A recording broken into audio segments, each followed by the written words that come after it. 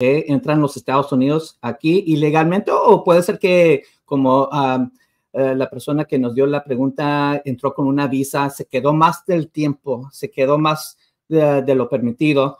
Ah, y si se queda más de un año, más de un año, greater than a year, ah, y, ha acumulado la presencia indebida, en inglés se llama unlawful presence, salga fuera de los Estados Unidos y al regresar, eso activa el castigo, la barra permanente. Hay perdones disponibles y tal vez sigue la, eh, es posible solicitar el parole in place si la persona había entrado una vez. Ok, let's just say this one, más una vez. Um, personas que entraron y salieron, y, pero se quedan allá afuera, hay posibilidad de perdón. Pero el momento que vuelvan, después de eh, que, acumularon la presencia indebida de más de un año, eso es lo, se refiere al, castigo, la barra permanente.